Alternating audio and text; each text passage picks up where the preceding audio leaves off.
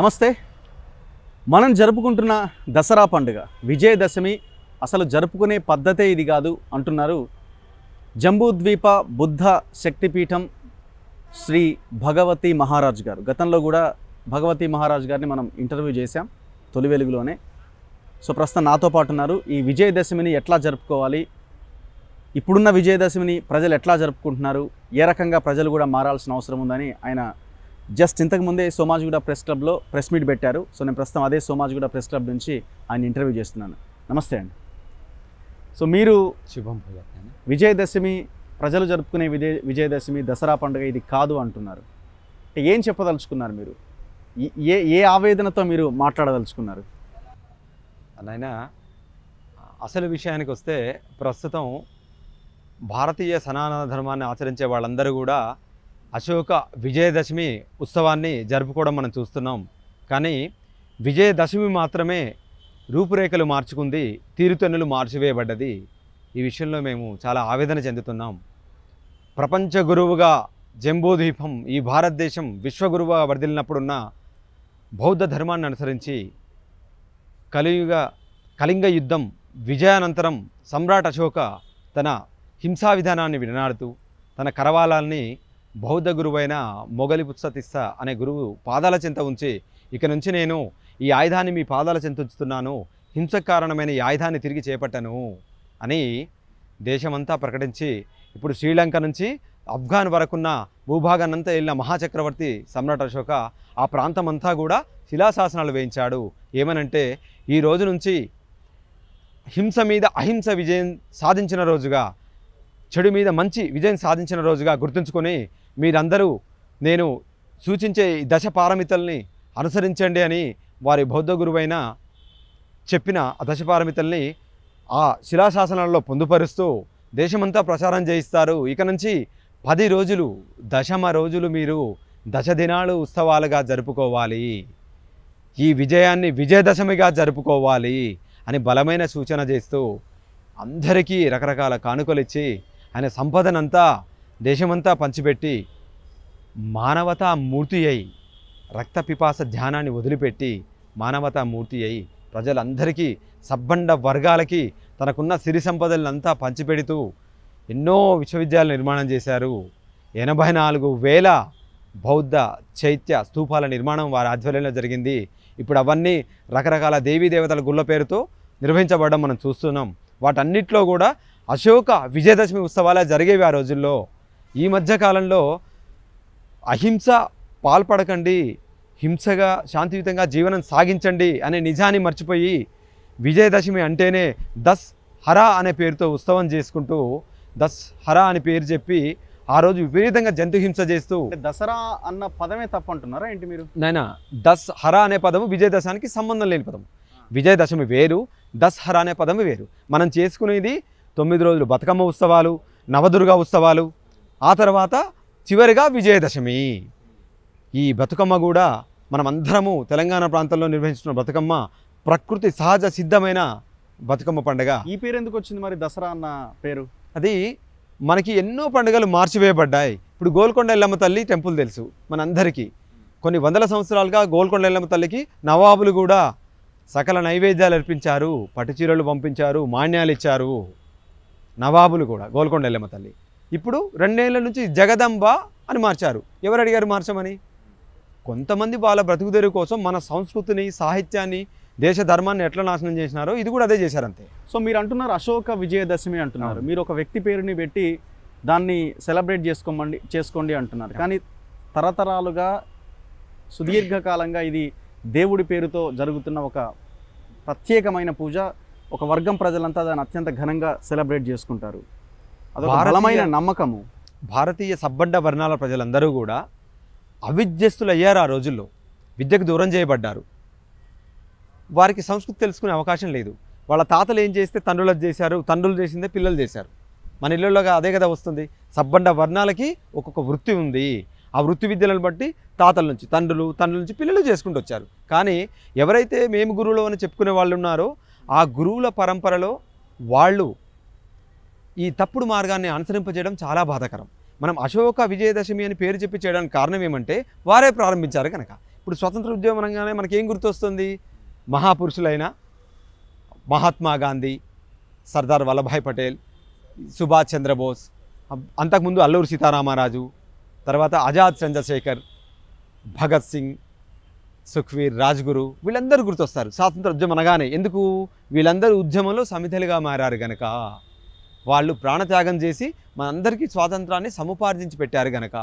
కానీ దసరా అనగానే విజయదశమి అనగానే చెడు పైన మంచి సాధించిన విజయంగా జనాలు చూస్తారు. అమ్మవారిని ఆ రోజున పూజిస్తారు. ఏ కార్యక్రమం తలపెట్టాలన్నా విజయదశమికి ఎలాంటి అడ్డంకులు ఉండవు. ఎలాంటి ఇదేమి ఏమంటారు దాన్ని? ఆ, రోజున చేయొద్దు అనేది అంటుంటారు కదా. సో ఆ రోజున చేయని పని కాదు ఆ రోజున ఏ పనైనా చేయొచ్చు అన్న ఒక బలమైన నమ్మకంతో అభిప్రాయంతో ఉంటారు కదా. ఆయన మీరు చెప్పిన దాంట్లోనే ఆన్సర్ ఉంది. దుర్గాష్టమి నిర్వహిస్తున్నారు.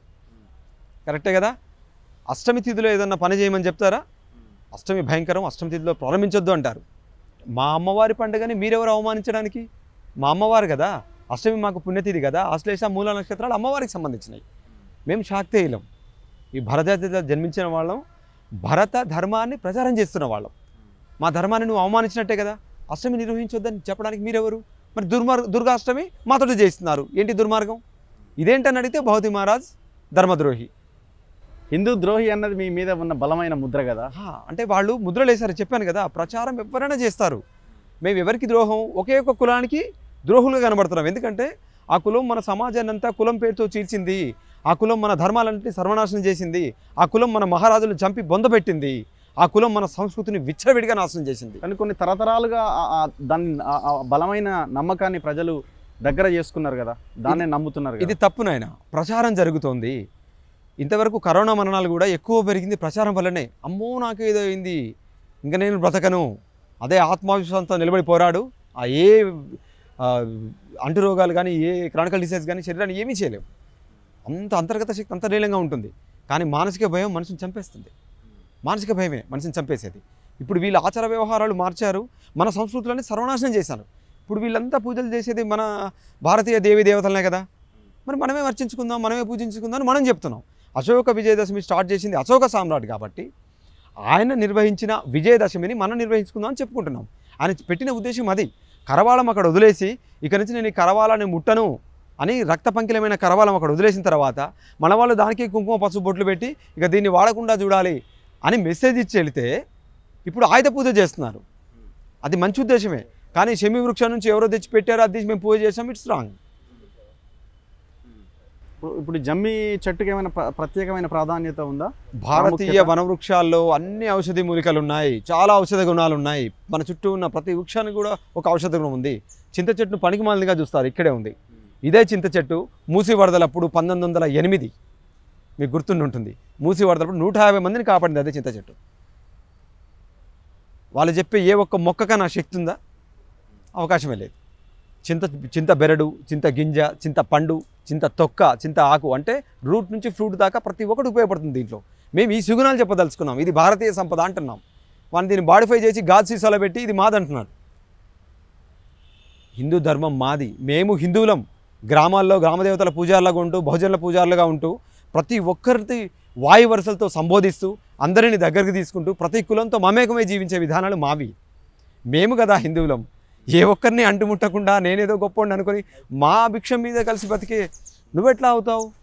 నువ్వు ఎప్పుడు అయ్యావు ఇప్పుడు చెప్పుకున్నారా? మీరు మీరు చెప్తున్న పద్ధతి పోయింది వాళ్ళు చెప్తున్న పద్ధతి కూడా నాశనం అయిపోయిన పరిస్థితి. ఇవాళ దసరా అనగానే విజయదశమి అనగానే తినాలి తాగాలి అనే కాడికి వచ్చింది పరిస్థితి. నాయన.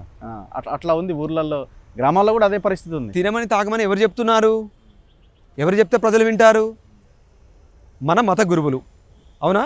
మరి చెప్పి తిని తాగమని చెప్పే మత గురువులందరూ తిని తాగుతున్నారా? మనం చేసేదే కదా వాళ్ళకి చెప్పాలి. తర్వాత వాళ్ళ ఇష్టం. ఇది కాదు నాన్న చేసే పద్ధతి ఇది కదా అని మనం చెప్పాలి. ప్రతి దగ్గర ఫలానా చేయొద్దనే చెప్తున్నారు కదా వాళ్ళు ఎక్కడ చెప్తున్నారు నాయన? అవకాశం ఎక్కడిది? ఇది అశోక విజయదశమి అనే నిజాన్ని చెప్పమానండి. భారతీయ ధర్మాన్ని ఆచరించి సనాతన ధర్మాన్ని ప్రచారం చేసే వాళ్ళకే చెప్తున్నాం. విదేశీ పిచ్చగాళ్ళతో మాకు సంబంధం లేదు. వాళ్ళు మా భారతీయులు కానే కాదు కాబట్టి మాకు అవసరం లేదు. మేము భారతీయ స్వామితులం కాబట్టి ధైర్యంగా చెప్పగలుగుతాం. మా భారతీయ పండుగలు ఇవి. ప్రతి గ్రామంలో హిందుత్వాన్ని కాపాడింది మేము. ఎల్లమ్మ ముచ్చలమ్మ బొడ్రాయి పండుగలు నిర్వహించింది మేము. అన్ని కులాలతో మమ్మకి ప్రతి ఇంట్లో కూడా ఆ కుల దేవతను ఇలవేల్పుని ప్రజలే కదా? మీరు చెప్తున్న ముత్యాలమ్మ పోలేరమ్మ ఈ అమ్మవార్లను ఎవరు ప్రజలు మర్చిపోలేదు కదా? మేము ఏం చెప్తున్నాను ఆయన వాళ్ళు మర్చిపోరు. ఎందుకంటే మేము మమేకమే జీవిస్తున్నాం. వాళ్ళు మర్చిపోకుండా మేము కాపాడుతున్నాం. ఇది కదా హిందూ ధర్మం. నువ్వు చెప్పే దేవీ దేవతల ఆరాధన ఎక్కడుంది? అవన్నీ మా దేవుళ్ళే. మేమే పూజించుకుంటున్నాం. మా దేవుళ్ళో నువ్వు ఎక్కడి నుంచో వచ్చి యాచించడానికి వచ్చి మా సంస్థానాన్ని హస్తగతం చేసుకున్నాం మా ప్రజల్ని ఏమార్చి ఇంతకుముందు గతంలో చాలాసార్లు చెప్పాం. ఆలయం నిర్మించింది మా వాళ్ళు. కానీ మీరు వెళ్తున్న దారి ఒకే వర్గాన్ని టార్గెట్ చేస్తున్నట్టుగా ఉంది. అన్న బలమైన ఆలోచన ప్రజల్లోకి వెళ్తే అది మీకు మీ మీ మీ చెప్పిన దాన్ని ప్రజలు ఎంతవరకు నమ్మే అవకాశం ఉంది? మా ప్రజలు నమ్ముతారు నాయన. ఆ ఒక్క కులంతో మాకు పని లేదు. వాళ్ళ సంఖ్య ఎంత? వాళ్ళ విద్య ఎంత? వాళ్ళ శాస్త్రాలు ఎంత? ఆ ఒక్క కులంతో మాకు పని లేదు. ప్రజలు టార్గెట్ చేస్తున్నారు వాళ్ళని అని అనుకుంటే? వాళ్ళు మా ప్రజల్ని మా ప్రజల్ని మాయ చేసి మా పైకి ఉసుగొలుపుతున్నారు. మా మీద హత్యాయత్నం కూడా చేశారు తెలుసు అనుకుంటా మీకు అది. సో వాళ్ళ లక్ష్యం కూడా అదే. మొదటి నుంచి మన రాజుల్ని హత్య చేశారు. మన రాజ్యాల్ని వశపరుచుకున్నారు. మన సంస్కృతిని హత్య చేశారు. ఇవాళ గ్రామ స్థాయిలో కూడా మన ప్రజల్ని మన మీదకే ఉసుగొలిపే పరిస్థితి తీసుకొచ్చారు. తెలియని వాళ్ళు నా ప్రజలకి విద్య లేదు ఆయుధం లేదు ఆస్తులు లేవు. సాధారణ జీవితం గడిపే ప్రజల్ని విపరీతమైన ఖర్చుల పాలు చేస్తూ విపరీతమైన వికృత వేషాలు వేస్తున్నారు. నా ప్రజల్ని ధన మాన ప్రాణాలన్నీ దోచుకుంటూనే ఉన్నారు వేలేళ్ళుగా ఇప్పుడు కూడా.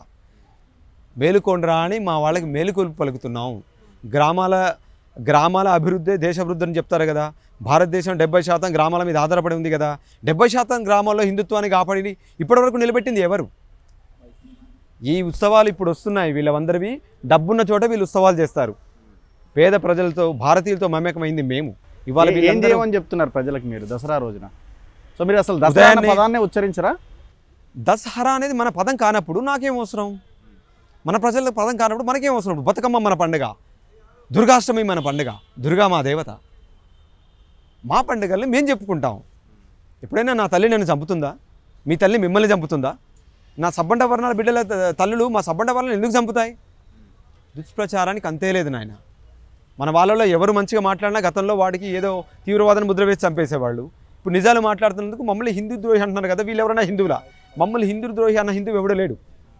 వేరే వాడే మమ్మల్ని అన్నాడు. ఇప్పుడు ఏం ఏం చేయాలని అంటున్నారు? ఏం ఏం చేయమని చెప్తున్నారు విజయదశమి రోజున? విజయదశమి రోజు అశోక సమ్రాట్ ప్రారంభించిన ఉత్సవం కనుక అశోక సమ్రాట్ ప్రతిమ అశోక సమ్రాట్ బుద్ధ భగవాన్ని ఆదర్శంగా తీసుకున్నాడు కనుక బుద్ధ భగవాని ప్రతిమ చిత్రపటం ఏదైనా సరే తర్వాత ప్రపంచానికి మెసేజ్ వైద్య ఆరోగ్య మర్మ వర్మకళ యుద్ధ విద్యలు నేర్పిన బోధిధర్ముల వారు ప్రపంచవ్యాప్తంగా గొప్ప గుర్తింపు. ఇక్కడ గుర్తింపు లేకుండా చేసింది కూడా మీరు చెప్పే వర్గమే.